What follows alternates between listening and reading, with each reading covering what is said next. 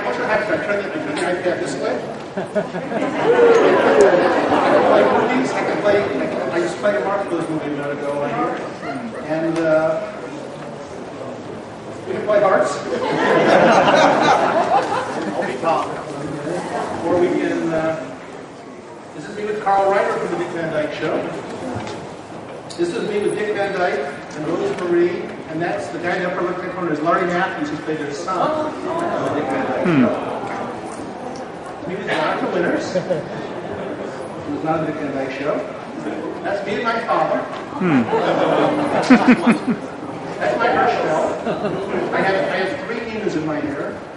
Hmm. Okay, now how who can identify the people in this photo? On the far left is Joe Barbera. The second man over is Walter Lantz, Woody Woodpecker. Third man over is Don Messick, voice of Scooby-Doo and Papa Smurf. The fourth man over is the greatest cartoon voice actor who ever lived, Daws Butler. The fifth one is the greatest cartoon actress who ever lived, June Foray. And then on the far right is Bill Hanna. Hmm. And, and you, everything you need to know about the relationship of Hanna-Barbera is in this photo based on the way they are dressed.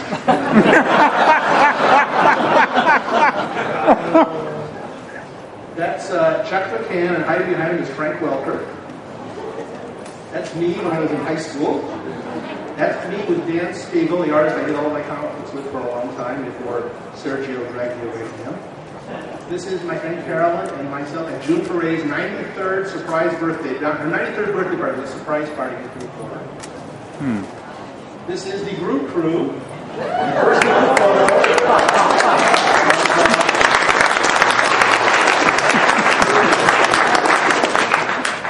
Groo. This is, I think, just about when Tom Luth took over.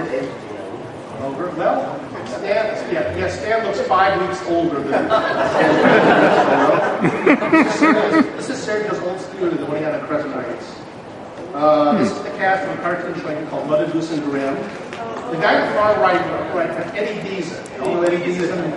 Every movie ever made that had a nerd in it, Eddie Deezen played. Mike Peters in the center. This is the voice cast of the old Garfield show, the first thing we did. Top left-hand corner is Greg Berger, who will be on our voice panel here on Sunday. Next fellow over is Thom Huge, who's the voice of John, originally on Garfield, doesn't do it anymore. Next lady over there is, on the top is Julie Payne, who's the voice of Garfield, of John's girlfriend Liz, she still does it. The voice, fourth person over is a man named Frank Welker, who's now the voice of Garfield. Uh, Chuck McCann is the tall guy there. Then Gary Owens is on his right. Next row over, uh, June Foray is down there in the red. The fellow with the tie on right behind me is Howard Morris.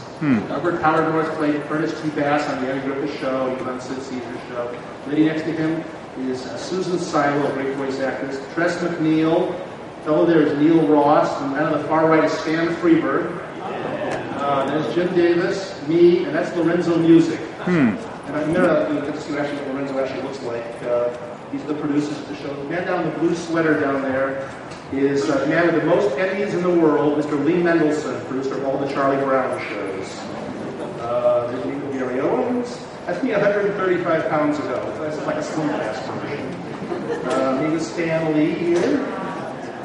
Um, this is me ending Bobby Vinton's career on special. uh, with, with Jack Kirby. What, a surprise. Very young. That's my high school graduation picture. This is the cast of That's Incredible, which I wrote on for several years. It's John Davidson, and Kathy Crosby, and Frank Martin. And uh, then me with Dick Van Dyke again. Uh, Sergio and I presented an award to Heath at a, at a uh, Caps banquet.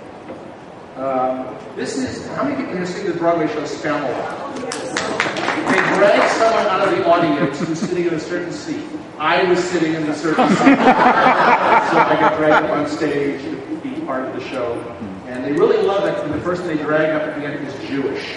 of like a punchline to the whole episode. That's me with Sid Caesar. Uh, some friends of mine you don't care about. Uh, there's, there's the oldest picture I have of me and Jack Kirby. The fellow on the left is Steve Sherman, who was my partner at the time. Uh, Mark Hamill. Uh, on the left is Scott Shaw, You wouldn't recognize him today. The second person over is uh, Bob Foster. There is me, and there's some guy named Carl Barks. And Sergio. This, the odd thing about this photo is that Scott Shaw is not wearing a Hawaiian shirt, but Carl Barks is. this is a variety show. This is from a sketch I did on one of the Krofft variety shows I did. I, I was in the sketch. I'm on the far right there. Uh, this, we did a roast of Abraham Lincoln. This is one of the D. Martin roasts, and we had um, uh, uh, John Wilkes Booth was played by Red Buttons.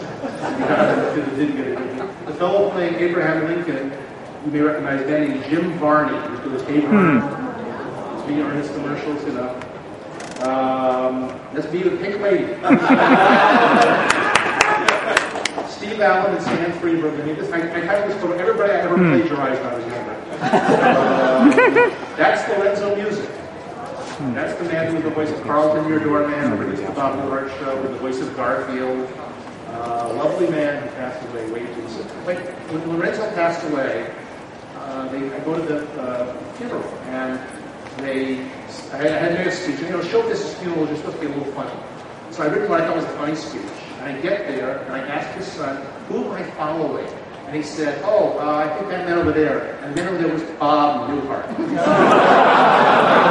okay, is there anyone in the world you would less want to follow than Bob Newhart? I found out when Howie Morris passed away. I went to the funeral. Yes, you less want to follow Carl Reiner.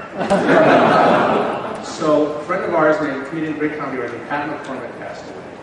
And and I had, you know, I had to to the same, all the same places. These are all funerals in the same, the Writers Theater. And when I was sitting there, giving my speech, Bob Newhart was sitting in this one seat directly in front of the podium the entire time. And I thought to myself, what the hell am I doing up here when he's down there? And I couldn't even look at him. I, I, but finally I said something that was funny and got a laugh in the right, so I looked. I said, ah, he's laughing. At him. Never look at him again. So now, same thing happened. Carl Reiner was sitting in that chair. So when Pat McCormick passed away, I was just speaking of that. I was in charge of the seating. I thought to myself, okay, I can put in that chair anybody I want to be one of the guest speakers. I'm going to put the person in who will intimidate the people the most. This is my private gang. I looked at the whole guest list, and in that chair, I put the person so that every single person who got up on the podium had to speak, I could look directly in the face of George Carlin.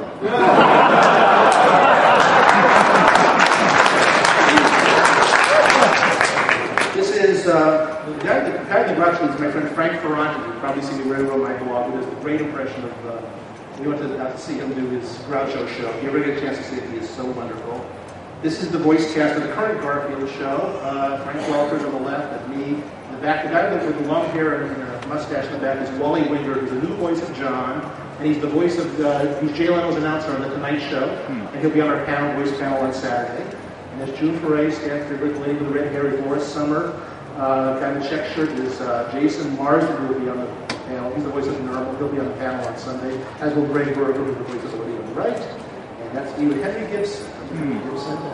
This is me with a man named uh, Eddie Carroll, who's a professional Jack Benny impersonator. Who just passed a lovely man. Um, Leonard Maltin, Carolyn, myself, and Frank Ferrante again.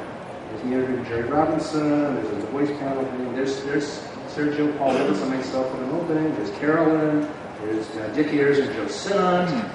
Uh, this is that's Charlie Koch. That's Al Jaffee, who does the foldings for Mad Magazine. And the great thing about this photo is you can fold it over and we completely eliminate Al Jaffee. Joe Simon, John Romita, and Joe Sinnott. That's uh, Dave Goelz, who is the voice of Gonzo the only person who ever played Gonzo. He's the only, the only Muppeteer from the classic characters still doing his character. Hmm. That's Lou Scheimer, who used to run Filmation Studios. There's some guy, I don't know him. There's Stan Lee getting another damn award. Neil Gaiman and Ser- Sergio's got something caught his teeth. Uh, that's Chase Craig, my first editor in comics. Hmm. That would be my start. Uh, that's Nick Carney left. The now on the right is the late Gene Colan saluting a tribute to Marvel at noon.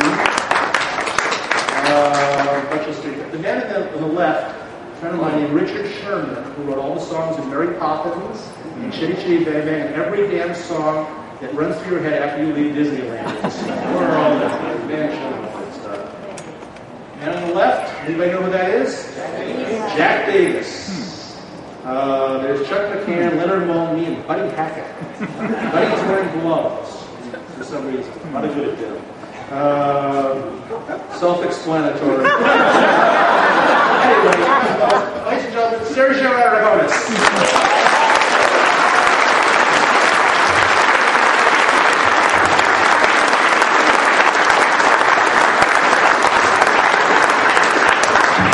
Thank you. It's my, my turn to show a picture of me. Well,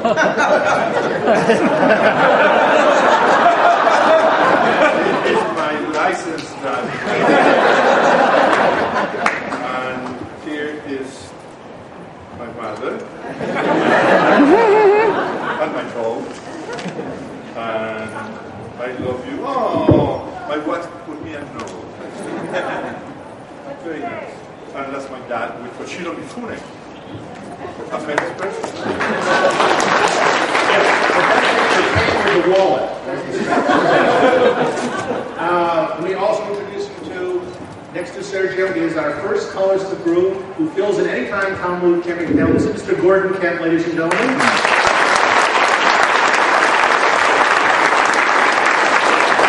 And the greater Usagi Yojimbo, Mr. Stan Sakai.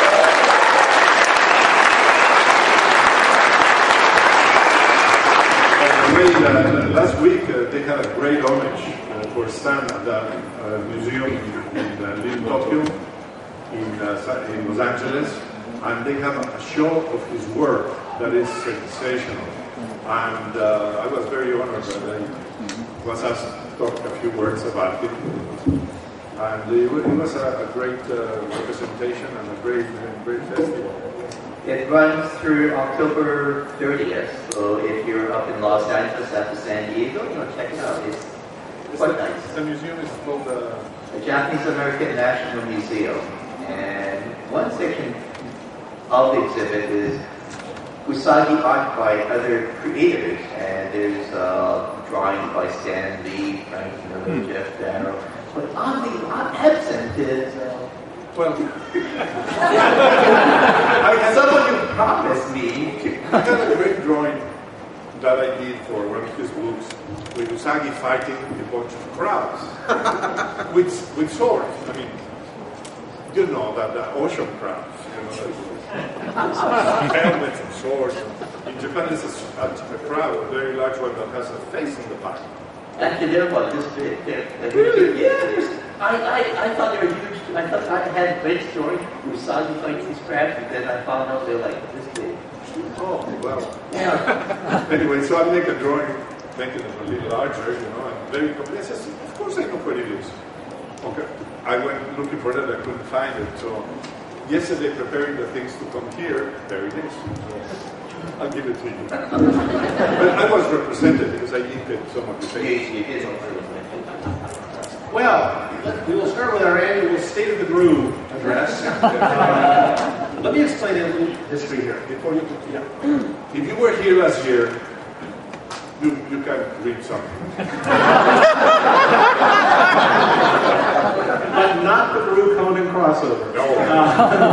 All right. Um, as you may remember, Bruce started at Pacific Comics. Well, it started really uh, in, in Square It started as a regular comic, Pacific Comics.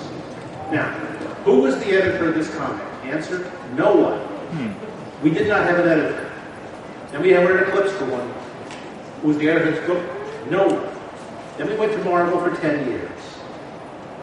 Marvel insisted the book had to have an editor. Well, we think editors kind of ruin things. So we basically said, okay, you can have an editor as long as, God forbid, they don't try to do anything. and they didn't do anything. And we were very happy. Good editor knows how to do nothing. One time, the editor called me, very afraid, because he said, I don't understand why um, Drum has a mustache in this panel and doesn't in that panel. But I assure you guys know what you're doing. I said, no, it's a mistake. Draw to the thing. The only thing I they ever did the entire 120 issues. But instead of having one editor Marvel, we had many. Some of them would last three weeks. Some of them last, we just would go through editors, one after another. I don't know how many we had. A couple, we never even got their names in the comics. They were like, They would be appointed editor of the Groo, and by the time the next issue came out, they'd be gone. The Prince of Chichester. Princess Ch- Dan Chichester. He was one of the editors. Yes, yes, he was a running gag in the comic longer than he was the editor of the comic. so then we went on to Image. The editor of the book again was no one. And now in Dark Horse we have to have an editor, and we've been dealing with different editors. and They keep changing on us. They keep leaving, or they keep resigning, or whatever. We lost our editor on Groo a while ago, and nobody bothered to appoint another one. we just had a meeting this morning with Mike Richardson, and he uh, was the publisher, and he basically said, he said where's Stephen Collins standing? And we're saying, well, we're waiting for the editor to call us. So he said, who's the editor? And he said, nobody.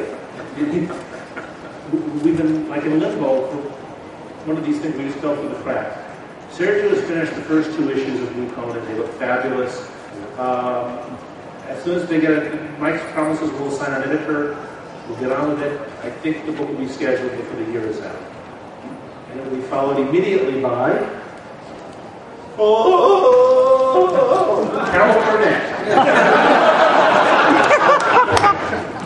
I'm going to do Groo Meets Tarzan.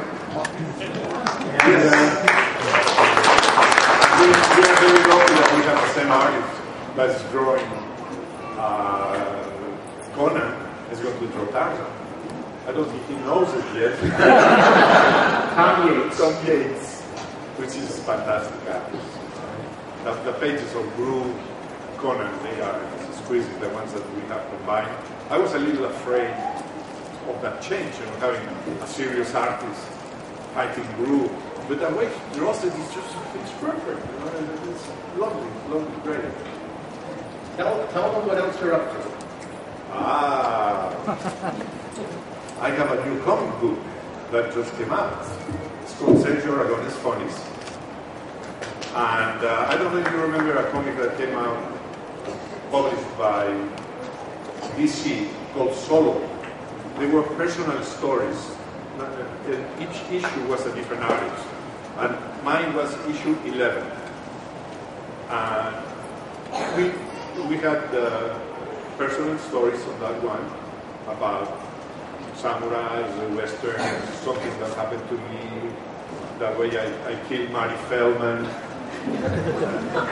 well, that's the title of the story. I, he was in Mexico. And you have to read the story. but so, Why don't you tell the story to people who don't know the story? Okay, I will. Um, and Mark did a great story on the, on the same book about Batman.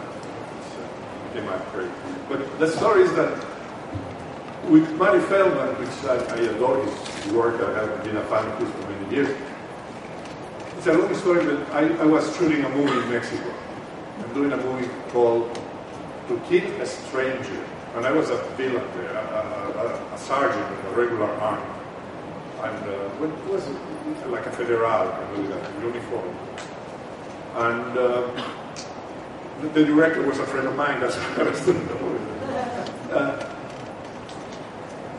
it was with uh, Aldo Ray, Donald Pleasence, um, where with the green hair? The boy with the green hair. Dean Stockwell. Dean Stockwell. Dean Stockwell, Mexican actress, and myself. Okay, so I'm in the set, and I realize that they're shooting a movie called Yellowbeard with Marty Feldman. I said, really? Yeah, let's go. I said, oh, great, I'm going to see him, because I, I really admire him. So I, I go outside, and I'm dressed like a, with a shorter mustache and with a gun and with a fedora. And I saw Marty Feldman, I go, Marty Feldman! Oh, I love you! And he's just totally panic, you know. And then I started blundering because I became a fanboy, you know. Oh, I love you. I'm, a, I'm a cartoonist from Mad Magazine. Well, I'm an actor, but I'm not an actor, I'm a cartoonist. I'm, I'm, playing a cop, I'm not a real cop. Even the gun is not real. Well, the man was just backing up. Please freak out. This big, gigantic, because he was very short, this gigantic cop saying all these stupid things, you know. So I said, I'll meet you tomorrow, you know, I'll, I'll, I'll meet you tomorrow. And the guy said, sure, sure. So I asked the director to let me go out before because I had to dress, change to go to see him. He says, what are you dressing? He says, I said, I have to go and and meet Marty Feldman. And says, did you know? He just passed away. so that was it. So I, I felt so bad, you know, because the only time I had a chance to talk to him. And then it dawned to me, I hope he didn't die of was scared. I call it even closet. But on the comic I call it I kill Marty Feldman. But it's a, it's a, it's a, I draw better than I talk. So you have to see the drawing. the premise here is that Mr. Feldman perhaps thought that that was a real policeman who might find substances he had in his pocket at that time, which something will kill him. So Yeah, he was they were uh, scared that the, the police were coming after him. Yeah, well, it, it was the altitude. Mexico is uh, 6,000 feet of the sea level. So it was the, the altitude and his heart. So, but that type of story, I, I have done other comics before. One for, uh, I think it was that Horse when I met Richard Nixon. I did another one when I You couldn't kill the right person. we liked Marty Feldman. And the other one was when I was doing aquatic ballet, and, and I was in college. yes, I, I was on a synchronized Have you told the story yet about stunt doubling for, for Sheena Queen of the Jungle? No, oh, Have you told the story yet about the TV weatherman? oh, no. But you know, what happened is, a lot of things happened to me. I don't know why. happened to me since I was a kid. So I figured that, well, I, I want to do a comic explaining all these stories, telling those stories. And besides the regular silly stories that I tell, like silly things, you know, like Groo. And, and, uh, and cartoons, so I decided to do this comic of Sergio Aragones Funnies. Bongo Bon, uh, jumped into it, and they, they say, please, we want to do it, and this is terrific. So the first issue just came out yesterday, and it's going to be a monthly, and this is the one. huh? And I have it on my table, I 1000. And uh, we hope uh, that people enjoy it because they have all these stories that Mark's mentioning. Yeah, that, that was the most embarrassing thing in my life. It's, it's another, it's another Sergio Aragones project where I don't get paid, but this time I don't, I don't do any work, so. Maybe it's time you get paid. That's all. And uh, that's what I'm doing. I'm doing, uh, we, we start uh, doing issue number three of uh, Conan, which is already in the process. Um, I'm, doing a special for um, uh, the, the Simpsons. I'm doing a, a whole issue of Maggie, which is the, I'm doing pages for them, so I'm doing a whole a complete issue for Bongo. That makes three comics a month. I, I would be able to do it. So what are you doing with the rest of the month? Well, I'm working for the Mad Show, the Mad television show, which uh, I'm doing cartoons for animation of the uh, animated Alfred Neuman and other characters. I'm doing Mad. Uh, I just finished a Mad look at Lady Gaga. Will be out in the next issue. Oh, Nice. Four? I'm doing Stan, why don't you tell us what you're up to? I haven't finished Oh, yet. Didn't you all think he was finished? I'm doing the. You're uh, taking too long.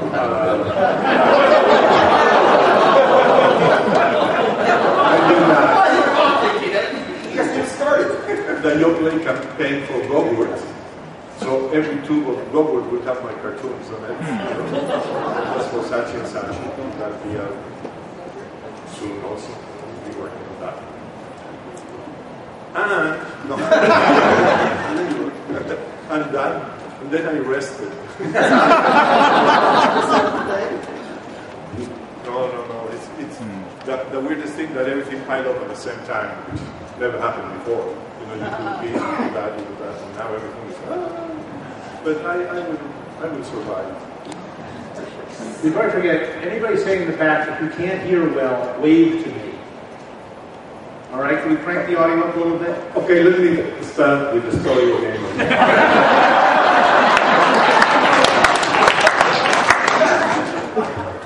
All right. Did anyone notice at exactly what time I lost control of the panel. Uh, Sergio got there. Sergio got here. I knew, I knew that bringing him up here was a mistake. Uh, Stan, tell us what you're up to. Uh, I'm still working on Usagi Yojimbo. I uh, the 200th issue of Usagi, which, which is Dark Horse issue number 141, is actually the 200th issue that I have done. Uh, com- if you count all the Fantagraphics books and the uh, uh, Mirage issues, then it's number 200. Um, let's see. I guess that's it. oh, I have a show at the museum. I also received the Cultural Ambassador Award this year. Um, I'm going to be in the Nisei parade. Yeah. Um, and I'm going to be the guy with the crowd back. Oh, okay. You'll be like sitting up on the side. Well, I don't know. You gotta start reading now. You'll be staying in the car just waiting for people. Yeah, basically. Give us a demonstration of what that would look like. All right. Tell us about you. No, let's, let's, let's, let's, do- let's do Gordon. Let's do, do Gordon, tell us what you're up to. I'm working at Bento Get a little closer to the I'm working at Bento cur- currently on a new show that's called Allen Gregory. It's going to premiere soon on Fox. Uh, oh, there. And um, it's interesting because over time they have um, this animation goes into uh, more and more digital uh, and uses uh, computers. They found that they don't really need timing directors anymore. They don't think. So Which is what Gordon does, is a timing. So um, they were working on a show called Bob Burgers, and the show was coming back, and they said, maybe we need timing directors. So they brought us back and they created a program, so we're now doing it on the computer instead of on paper. It's very interesting. Um, and I'm, I'm enjoying this a lot. I'm also working on the 37th version of Spider-Man that um, uh, uh, Stars is doing with Marvel, and um, yeah, I think also a bunch of stuff over at Warner Brothers. A lot of Batman movies where where um, terrible things happen to people, uh, including like the Joker killing Robin. You know, stuff like that's that's very painful. Um, and, and I keep they keep retelling how Batman's parents were killed, and over and over. I seem to get those scenes all the time too. It's entertaining. I got other things to do. Oh, what? I just remembered I'm supposed to, I think, doing a Rocketeer story for the uh, Rocketeer anthology. With a rabbit in it? With a rabbit. No. and I'll be doing a, a story uh, for David Petersen's Monster anthology, uh, Legends of Monster. And let's see, and still doing lettering for Spider-Man newspaper strips with Stan I think that's it. We'll think of something else later. I'll take it. I'll take it. You guys. Okay, let's, Mark. oh, uh, let's see, I must have a job somewhere. Uh, yes, I am, I I am writing and, I am the supervising producer, I have no idea what that means, and the writer and voice director of the Garfield show, which is seen on Cartoon Network in every, in every single country on this entire planet, including China now. Uh, and, uh, anyway, and we're doing the third season now. I just wrote and directed an episode, an hour-long special. I'll tell you the title of it, which three people in this room who love Garfield will probably be excited about. The title of the episode is called Long Lost Lyman. Anyone know what that means? Lyman was a character who was in the original Garfield newspaper strip for a few years. He was John's roommate. And they just, just, just dropped him from the strip. He hasn't been seen in all this time. Is that what that feels like? Yes. I'm doing Alan King now. Anyway, so uh, uh, so I wrote an episode which tells what happened to Lyman, where he's been, and it'll air in about a year now. But we're also going to do the third season, and we're about to start the fourth season. And uh, I've been spending night and day writing these things and voice directing them, and we've had some wonderful actors on the show. Most of them will be on our voice panels either uh, Saturday or Sunday. I'm doing two cartoon voice panels here on Saturday and Sunday. For those who are interested, by the way, I am in this room for four consecutive panels here today. The next one, uh, I'm going to be interrogating a gentleman who, for years, was the head of Marvel Comics went over to DC. And he's, oh, Mr. Roy Thomas is sitting over the audience there.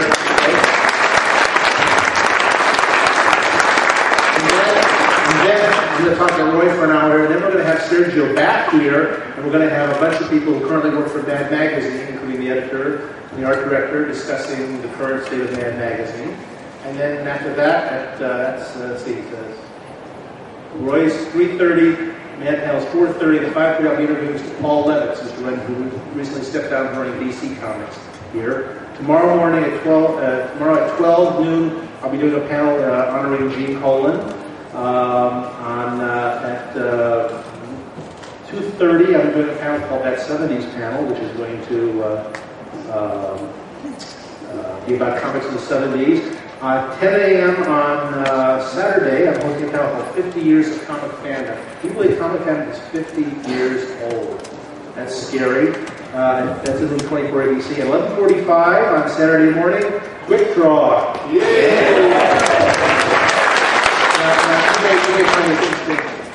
The panels in Hall H are, um, you know, all the movie, run by movie studios downstairs. This is a 6,000 seat room and movie studios in there, and they're shuttling big stars in and out. And also in Ballroom 20, they have uh, uh, the uh, uh, the banquet tomorrow night, by the way.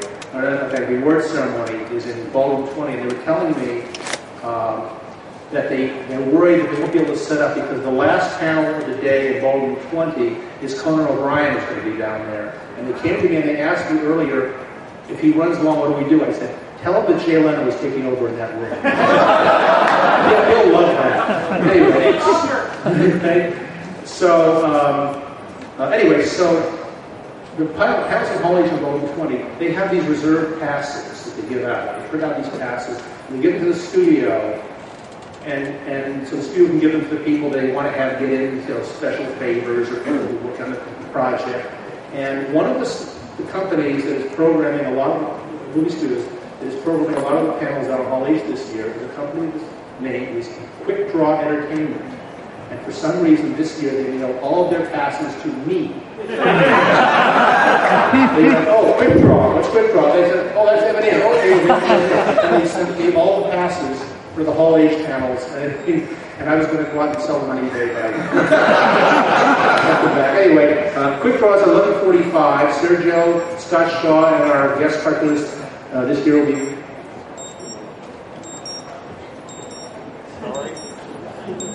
Is there a Geiger counter in this room?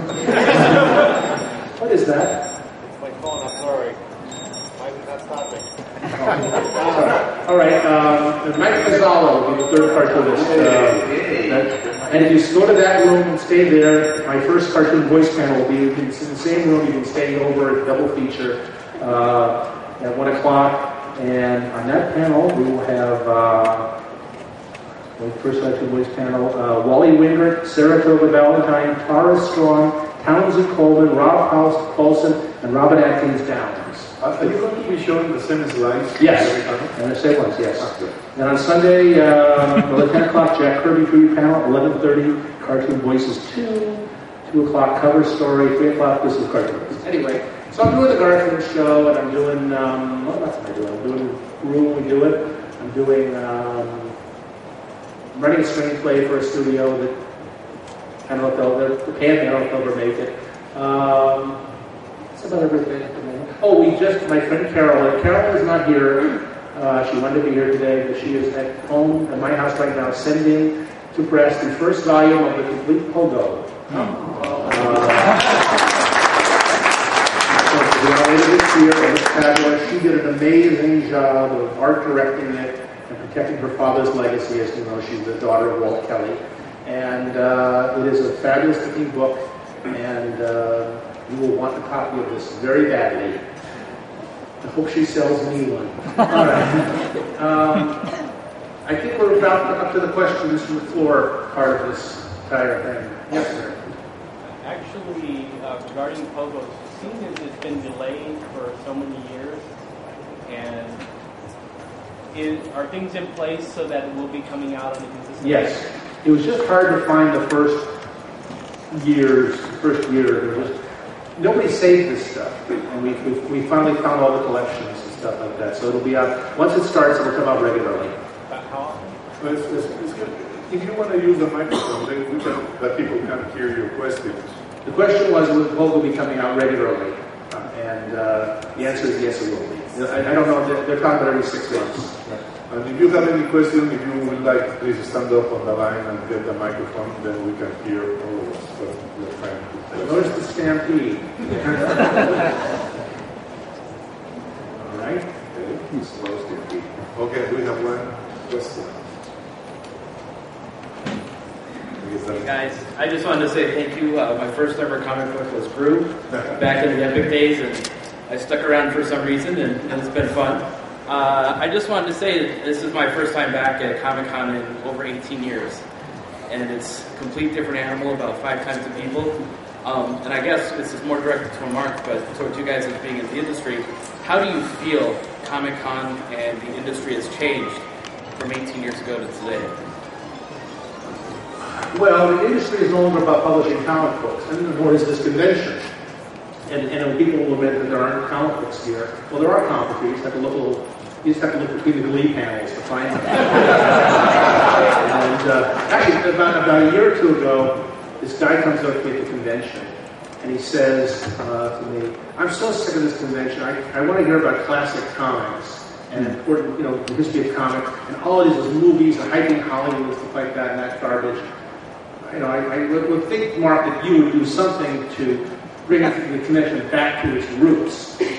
I said, well, today I did a panel at this convention about the history of Batman. I had the last three surviving Bob Kane ghosts on hmm. stage discussing their work.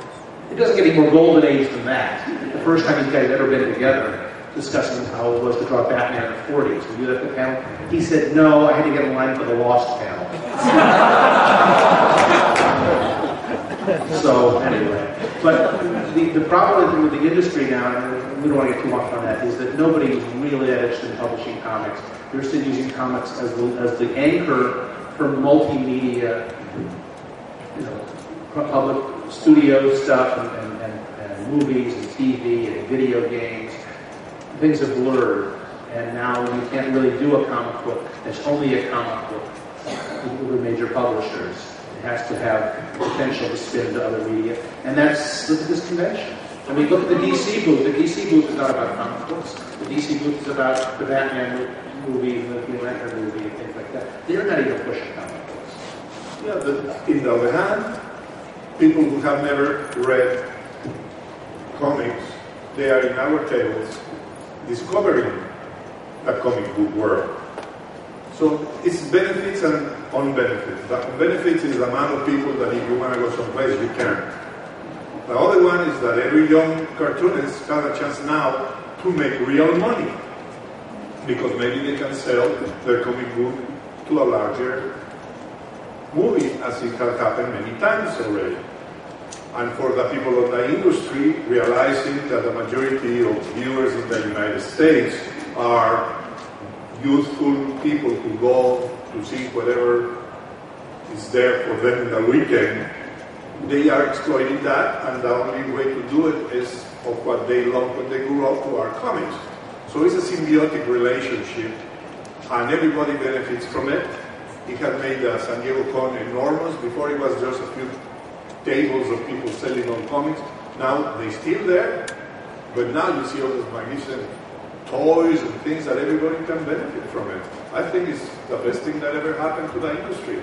The problem is the kids who are using, you know, those things to text instead of reading. But that has nothing to do with a Comic Con. It's a problem that many publishers lost it many years ago for not taking care of a new readership. Other countries are very advanced in technology and they're still reading comics. Why? Because the publishers took care of the younger ones coming in and the publisher abandoned them. So they have to deal with it. This country right now is trying to get the younger people to read comics. Let's hope they do, but conventions like this will help it. And yes, let's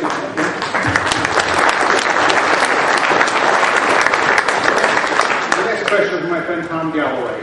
Two things. It did occur to me when we brought up Carol Burnett that I would pay to read a Groovy's Ken Conway comic. and Which would be the more, which of them would be the more inept? that's the question.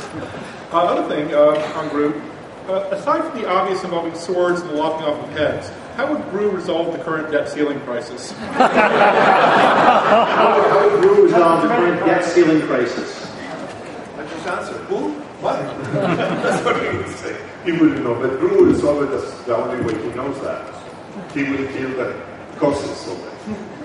And there will be no prices. Well, since we have another stampede of line for the, the, the questioning microphone, Uh, we have to- Gary, you gotta go to the microphone. Sergio is making people go to the microphone to see. Gary Grossman, by the way, is one of the people who know more about Groo. Sometimes when I want to know something about Groo, I call him. and he knows it. He knows everything, so please. How do you, how do you follow, how do you follow that I asked you to ask you a question. No, about, I think it was last November, there was some, some little blurb about the, uh, there would be new Groo, uh, models or characters, uh, done by the same company that's done the latest Usagi Yojimbo. And Yeah. so is that still going on? Is that still in process? Let me ask Gary. I was going to ask you the same question. No, the gentleman who is a, is a great sculptor and he did the most magnificent Usagi figures that you can see at, the, at his booth, at, at the Not, table. not in my group. You don't have it? Your, your, your Usagi figures? Well, there are two series. Uh, he's working on the third series right now. You don't have the whole I don't have the, uh, well, because um, Royale could not, I don't think he's at the time, because he had uh, some meeting with, he's working on a, on a new movie. But this is a great sculpture, and he approached me to see to do the, the Groo things, and I was delighted because I saw the ones that he did of Usagi, and they were magnificent. So most probably, if he gets out of the movie and he gets time back to sculpting, he's going to do that whole series of these magnificent sculptures. But again, it all depends on the work. You know? Nowadays, work prevails. When you want to do other things, if you get paid work, that's it. We have a question from a very small sleeping child. Yes, actually, he actually has three questions. Yeah. Uh, That would be, uh, where can, uh, where can you get a copy, where can you get a copy of the, uh, the new Sergio Aragones comic that just came out? Uh, Second question would be whether the Groo card game is going to come back into print.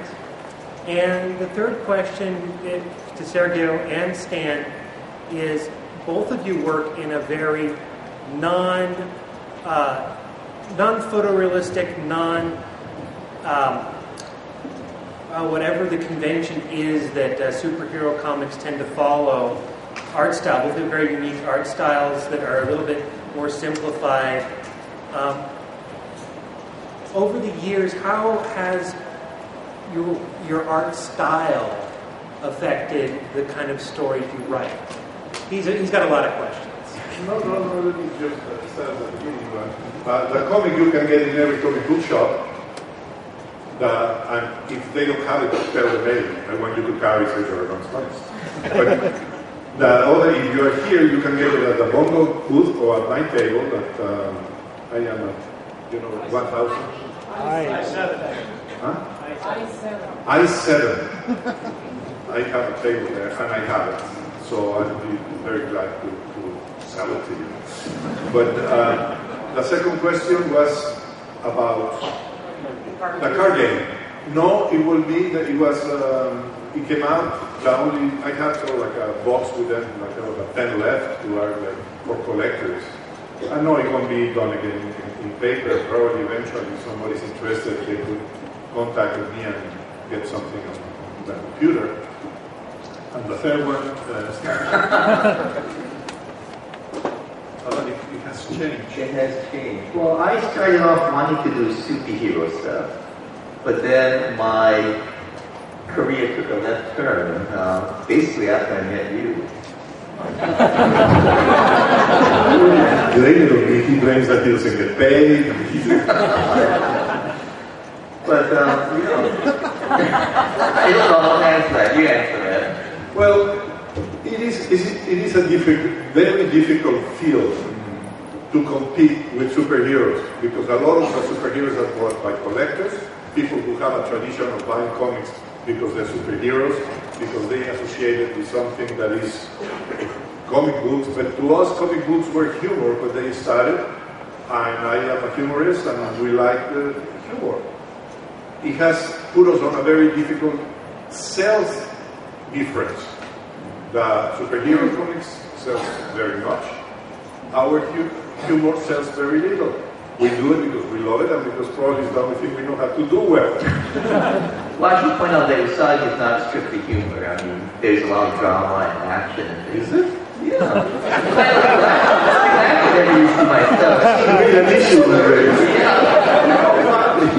But uh, basically, I've always gone for a readership of one, which is what the type of things that I like to read. And I'm just fortunate that there's enough people that like the same thing that has uh, enabled me to continue. Yeah, we are very lucky that we have a, a strong fan following. And they have supported Groo and Usagi through all these years, and they love it. And when people find it, they realize how good this comic is, and they get into the into the groove. But our growing up readership is, is not geometrically. You know? It's a it's a slow, but it is there. And the, the comics is a difficult field to compete against. Yes, sir.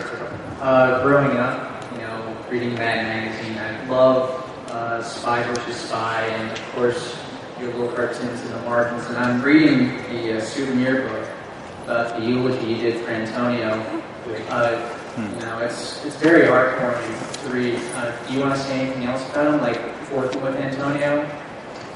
Well, Antonio Prohías uh, passed away a few years ago. He was a new friend of mine. He was the first person I met when I, uh, when I arrived to my magazine.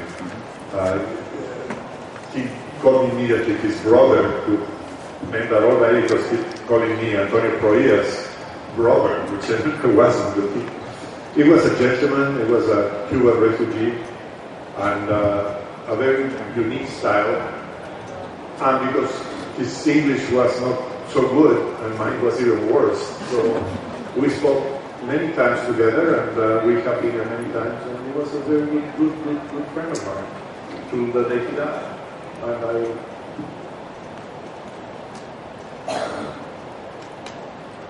Thank you. Next question, please. That's the Usagi shirt from the museum. Why, so it is. Um, in Usagi Yojimbo, Usagi has a son by, uh, that's really not acknowledged by everybody except by the son, Jotaro. Have you ever considered a son for Groo? I don't think Bruno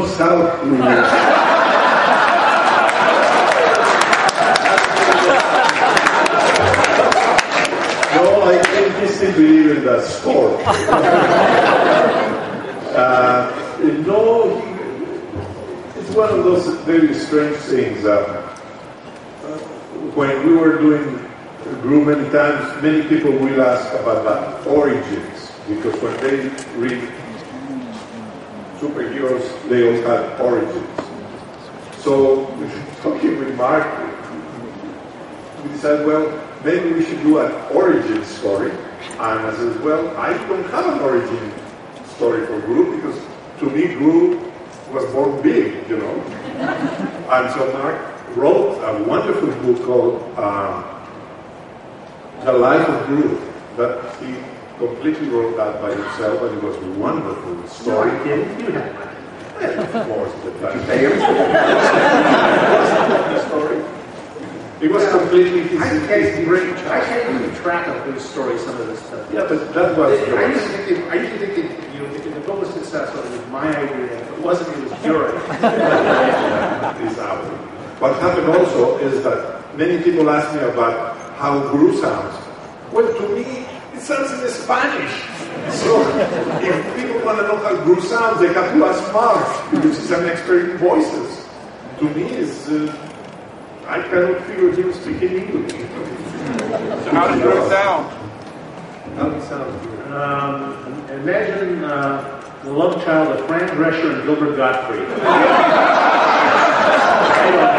I really don't know what he sounds like. Um, it's interesting because for years, you know, I would write I wrote the Bugs Bunny comic books and the Daffy Duck comic books, and I would hear Mel Blanc or, or, or Yogi Bear, hear Daws Butler's voice in my head. And when you do Groo, there's no there's no voice to lock onto. It's one of the different things about you know when I wrote Superman, I didn't have a voice in my mind for Superman. I just kind of raw voice, but um, it's different. And then Groo kind of has evolved into I have a speech pattern for him, but I don't know really know what he sounds like.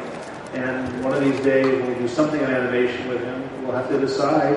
And I guarantee you that the voice I think is right, he won't think is right. The voice he thinks is right, I won't think is right.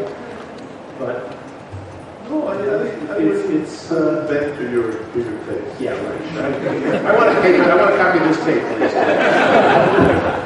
yes, sir. Uh, the status of the Groo anthology that was supposed to come out about six Yeah, months what's ago. Gary, Gary, What's the status of the Groo anthology? I don't know. the thing is that somebody told us that we were doing an anthology, and I was the last one to know about it. so when, as soon as we finish with this project and start with the thing, we will pay more attention to the anthology because it's a. I don't want to publish another collection of everybody because it's the same people who are buying it. You know, I feel exploitative sometimes when we repeat printing the same thing for the same guys. So we want it to be fresh. How many people here would like to see more reprints of the old Groo comics? If you want do one more, Would you like a large print like King King with all recolored by Tom Luth, collected not by number but by stories? and would you like it for a dollar? That's Well, you so paying would up. I. The, the, answer, the serious answer to the question is the Dark Horse wants to reprint more of the old Groo stories, not only the, uh, the, the epic issues and things like that, and do it in a couple different volumes. And um, we want to do this, but there have been logistic problems in securing, finding the right material, and also it, doesn't help the fact that we I frequently do not have an editor. and, to tell the truth, it's my fault. I have all the originals of Groo. They were returned to me, they very large, I put them in the storage, and I cannot access because I have so much basura in, in, the, in the storage that I haven't been able to access the original copy to make the reprints for the next book will be Odyssey. So it's really my fault. But, Well, when they reprinted an Usagi story that I did 20 years ago, I could not find the artwork. So I redrew that story. Don't you want to redraw it? What do you think we've been doing all these years?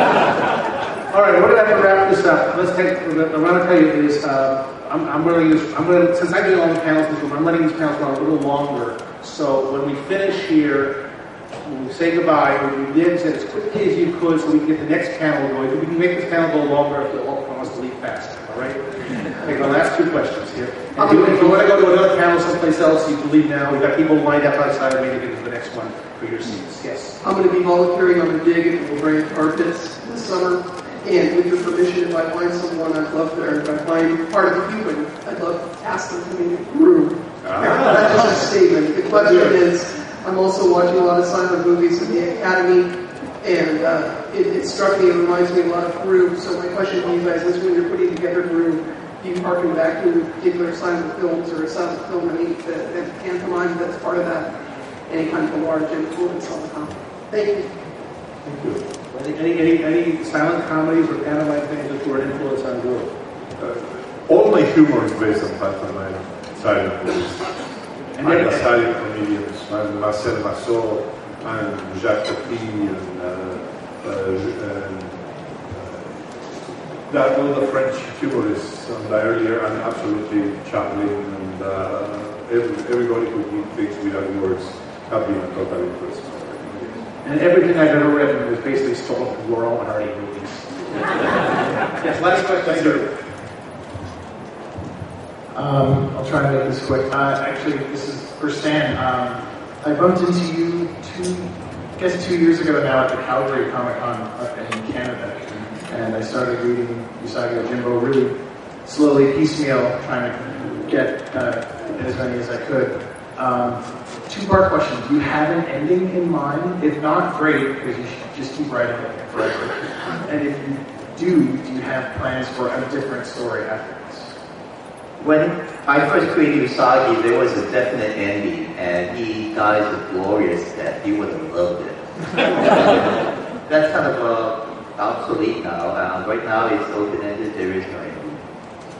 I thought he was going to reach a, uh, marry a rich lady and and became a daimyo of a region. And then the show.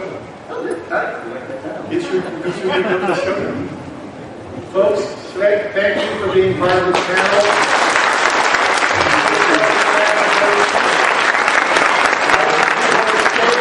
Roy, those who are leaving, please leave out the doors on this I am side. at booth 4906. I have all the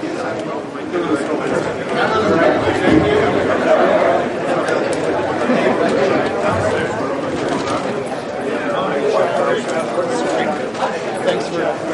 Mom, can you just give us sign my book there? Yeah, this camera has a weird thing. It's got this wheel. Oh, you put it in different modes. Okay, and it's got to be all the way rotated to move it, otherwise it doesn't do. So it's really easy to just get computer and all. Sorry about that. That's all right. Well, you got your feet in HD.